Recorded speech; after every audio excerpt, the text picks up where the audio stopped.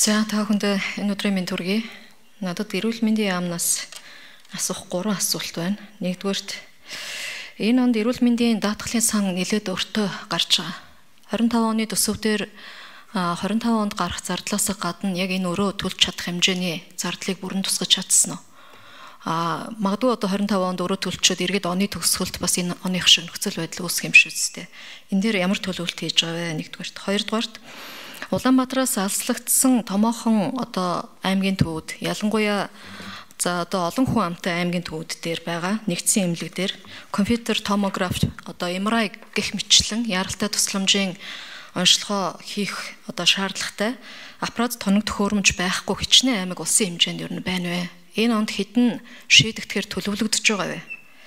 За гуравт нь иргэний эрүүл мэндийн хариуцлагын асуудлыг ер нь бид хизэнээс тооцож ярьдаг болох юм бэ? Тухайлх юм бол арх тамхины хэтрүүлсэн хэрэглэнээсээ болоод зүрх судасны өвчлөл юм уу эсвэл одоо дотоод шүүрлийн асуудлууд үүсээд маш өндөр үнэтэй хагалгаа үйлчлэлийн эмнэлгээс авдаг. За энэ төлбөр улсаас хийгдээд яваад идэг. Гэтэл иргэний хариуцлагын хувьд энд ер нь ямар хариуцлага хүлээх систем бэ? Энд дээр яам ямар бодлого барьж байгаа гэж. За дараа нь гэр бүл хөдөлмөр нийгмийн хамгааллын яамд нэг асуулт байна. Аа Инх хамгаалалт сайд та тэтгэврийн санд одоо 4.7 их найдын алдагдал үүсчлээ гэж сүүлийн үед нэлээдгүй мэдээллүүд яваад байгаа. Тэгээ энэ ямар байдлаар үүссэн алдагдал юм бэ? Ямар бодлого, ямар хөтөлбөрөөс энэ алдагдал үүсч 25 онд энэ алдагдлыг ер нь хэрхэн шийдвэрлэхээр төлөвлөж байгаа юм бол. За үндэсний аудитын газраас нэг асуулт асууя. Орон нутагт хийгдэж байгаа энэ хөрөнгө оруулалтын ажлын гүйцэтгэлд ер нь хамгийн сүүлд хизээ аудит хийгдсэн юм бэ? За ялангуяа одоо бидний хилцэж байгаа энэ нийгмийн асуудлууд сургууль, цэцэрлэг, дотуур байр, соёлын төв, спорт заал гэд. Зарим гүйцэтгэгчид нь ажлаа хаяад алга болцсон 10 жил үргэлжилж байгаа ажлууд хүртэл байна. Улсын хэмжээнд яг энэ гүйцэтгэл нь хаягдсан гүйцэтгэгч компани нь одоо шүүхийн асуудал дээр очижчихсан цаашид үргэлжлэх боломжгүй болчихсон хичнээн хөрөнгө оруулалтын төсөл арга хэмжээнүүд байна вэ? Энэ талаар хийгдсэн одоо мэдээлэл байна уу гэж. За баярлалаа. За. За эрүүл мэндийн яам асуултанд хариулъя. Мөнх сайхан сайдын микрофон өгье. 3 минутаар аль алингийн 3 минут өгч. За энэ оны эхний байдлаар даатгалын саны авлага 218 тэрбум байсан. За ингээд энэ орны төгсгөл санхүүжилт тэг хугацаа дуусахад ер нь нэмээд 200 орчим тэрбум төгрөгний бас өөртөө гарах ийм эрсдэл байна эх оны төсөвдөр 305 орчим тэрбум төгрөгийн нэмэгдлийг тусгасан. Тэгэхээр энэ авах авлага өр зээлний асуудал дийлэнх хувь нь 80 90 орчим хувь нь ингээд эх оны төсөвдөр шийдэгдээд суусан гэж ойлгож болно. За энэ хөдөө орон нутгуудад ер нь бүх аймагуудад компьютер томограф бол одоо ингээд суйрлагдаад дууссан байгаа.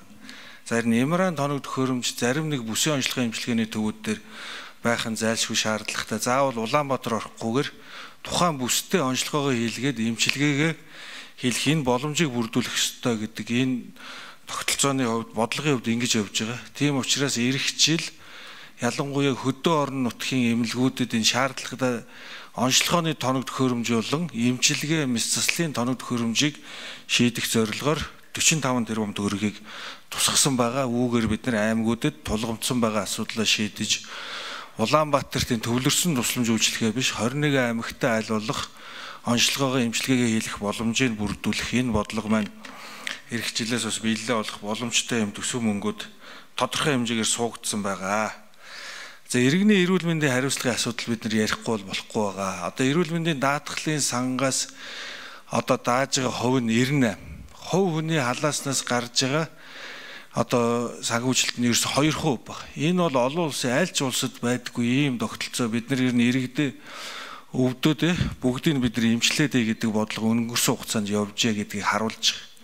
Тийм учраас бид нар эрүүл мэндийн даатгалын сангаас даах ёстойгоо даах ёстой. За харин иргэн өөрөө сэргийлж болох өвчлөлөөр өвдсөн тохиолдолд илүү их одоо хамтын төлбөрийн иргэнээс нь гаргадаг энэ тогтолцоог бий болгоё.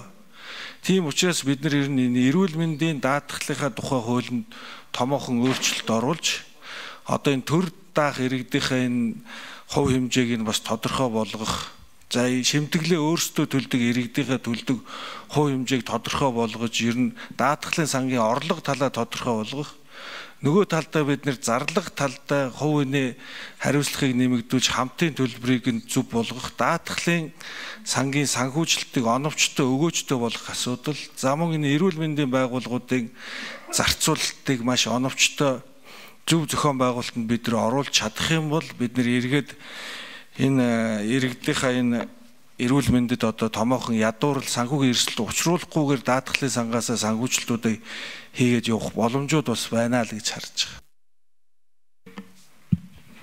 За. Тэтгэврийн сангийн алдагдaltaй холбогдолтой асуудлаар хэгэм болон зад оруулах. 3 минут орогчоор. Энэс нэлээд дэлгэрэнгүй. За, өөрийн төвөг шүүм маш чухал асуудал одоо хөндөж асууж байгаа. За бид нар энэ тэтгэврийн даатгалын сан дээр ирж байгаа энэ алдагдал өнгөрсөн хугацааны улс төрийн шийдвэрүүдээс болж одоо богино хугацааны одоо шийдвэрүүдээс болж гарсан үр дүнгуудээс бид нар ийм их том хэмжээний одоо алдагдал бодтойгоор хүлээчээд байна. 4.7 их найд гэж байгаа. За тэгэхээр 4.7 их найдын задрагааг би бас би түрүү мөнгөтэй гүшүүний асуултанд хариулахдаа хариулсан учраас энийг би бас дахиж нуршаад явах гэж бодож байна. За энэ жилийн магадгүй гişүүдэд энэ сонирн байж магадгүй. За энэ жил 4.1.4 их найдын одоо алдагдлыг төсвөөс татвар төлөгчдийн мөнгөөр санхүүжүүлэх ийм бодиттой нөхцөл байдал үүссэн.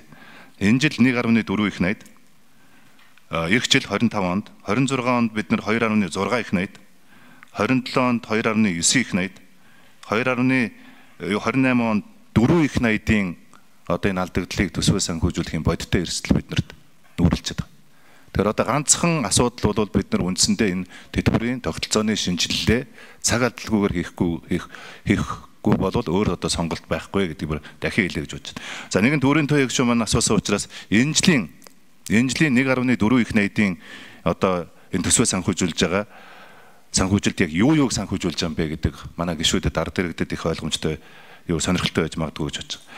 За нэгдүгээрт нь бол энэ иргэдийг төрөөс иргэд тэтгэврийг хариуцах иргэдийн улсын төсвийн санхүүжилт гээд төрөөс тэтгэврийг хариуцдаг 60 мянган хүн байна. 60 мянган. Энэ 60 мянган хүний одоо тэтгэврийн төрөөс авчаа тэтгэврийн хэмжээ өнөөдөр 758 тэрбум болсон байна. 758 тэрбум. За тэтгэврийн даатгалын сангийн 95 оноос өмнө тэтгэвэр тогтоолгосон иргэдийн тэтгэврт 36 мянган иргэдийн иргэдэд бид нар 308 тэрбум төгрөгийн санхүүжилт хийгч. За мэрэгжил үйлдвэрлэлээ бас мэрэгчлээ шалтгааллах хөвчний даатгалын сангийн 95 оноос өмнө тэтгэвэр тогтоолгосон иргэдийн тэтгэврт нийт 421 хүнд 5 тэрбум төгрөгийн тэтгэвэр болгох. За зарим иргэний тэтгэврийн хэмжээг нэмэгдүүлэх тухай хуулийн дагуу болох тэтгэврийн нэмэгдэлд 27460 хүнд 16.4 тэрбум төгрөг. За нийгмийн даатгалын сангаас болох тэтгэврийн тухай хуулийн 9-р зүйл заасан өндөр насны тэтгэврийн тусгай зохицуулалтын дагуу болох тэтгэврийн нэмэгдэлд хамрагдах иргэдийн тоо 14 мянга энэ 14 мянга бид нар 18 тэрбум төгрөг. За цэргийн тэтгэвэр авдаг 23 мянган хүн байдаг. Нөгөөнд эрт наснда тэтгэврт гардаг. Одоо 40 нас хүрэхгүй тэтгэврт гарсан манай залуучууд байгаа шүү дээ. Энэ залуучууд 23 мянган энэ залуучууд бид нар жил бүхэн 410 тэрбум төгрөгийн тэтгэврийг төсвөөс татвар төлөгчдийн мөнгөөр олгож 37 наснда тэтгэврт гарч байгаа шүү дээ. Тийм ээ.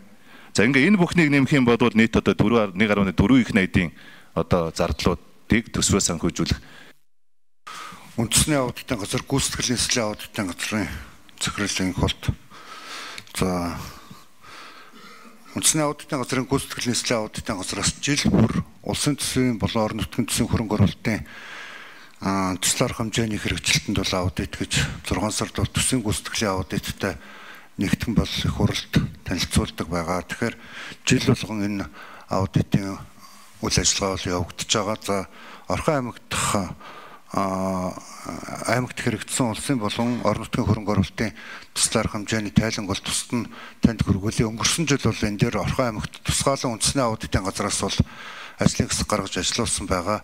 А тухайн туслаар хэмжээнүүдийн тайлан бол танд нэгдсэн байдлаар хөргүүлье. За, өрөн жаг гүшүүн тодруулна. За, эрүүл мэндийн сайд энэ онд тусгагдсан 45 тэрбум төгрөгийн хөрөнгө оруулалт одоо хэдэн аймаг Эмиратай болох боломжтой байгаа вэ? Энэ дээр нэг тодтогоо хариулаад өгч. За үндэсний аудитын газар би Орхон аймгийн асуудлыг онцгойлон сонирхсангүй л дээ улсын хэмжээний дүү мэдээ авъя гэсэн. За би зүгээр ганц л жишээ хэлье. Яагаад энэ асуудлыг одоо бас хөндөж яриад байна вэ гэхээр орон нутагт ажиллаж байхад бол бас олон сумдууд дээр ийм асуудлууд үүссэн байна. Тухайлх юм бол Өвсгөл аймаг Аруулаг суман дээр сургууль, сургуулийн барилга, спорт залтайгаа хамт хийгдэхээр төлөвлөгдсөн техникийн даалгавар нь. А гэтэл өнөөдөр спорт зал нь баригдааг байхад улсын комиссүүлгээд авцсан. Сургуулийн барилга баригдаагүй 10 жил болж байгаа сум байна. Тэгээ энэ одоо төсвийн хөрөнгө оруулалтын дээр ямар арга хэмжээ авч байгаа юм бэ? Шалгалтын мөрөөр. За, эрүүл мэндийн сайд мөнх сайхан сайдын микрофоныг өгье. За бид нар ер нь эхлээд өгөөжнүүдэд нэлээд судалж байгаа маа.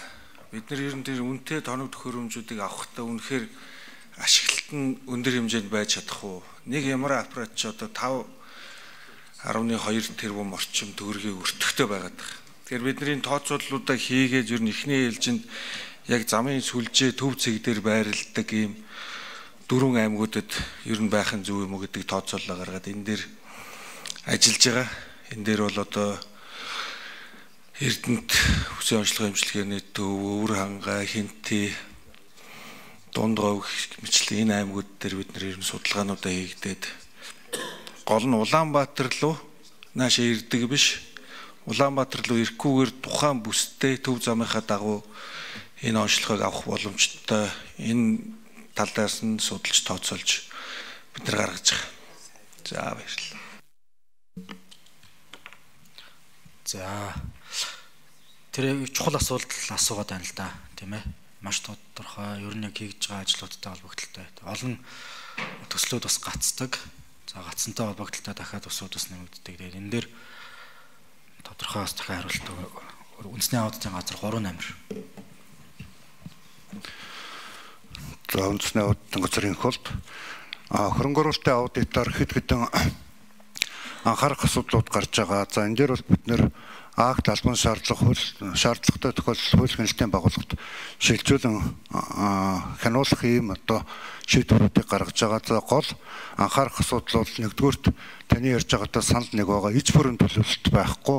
Анхнаас нь төсөл арга хэмжээг батлахдаа а хэсэгчлсэн байдлаар одоо баталдаг төлөвлөлтийг иж бүрэн төлөвлөлтөх асуудал бол хангалтгүй байдаг. Нөгөө талаас бол орон нутагт хамгийн анхаарах асуудал бол захиалагчийн хяналт хангалтгүй хийгдэж байгаа. Энэ дээр орон нутагт захиалагчийн хяналтыг хэрэгжүүлж байгаа байгууллагууд дээр мэрэгчлийн хүмүүсийн ажиллахгүй байгаа юм тохиолдлууд бол маш их байгаа. Энэ дээр бол бид нэр тусгайлан судалгаа хийж утсан захиалагчийн хяналт хэрэгжүүлж байгаа байгууллагууд дээр бол мэрэгчлийн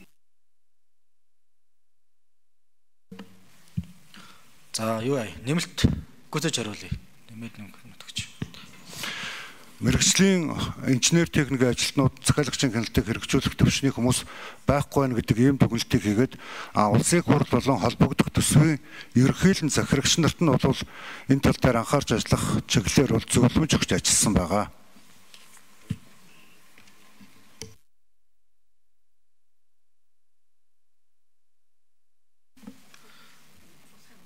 Дахиад нэг боломж байна.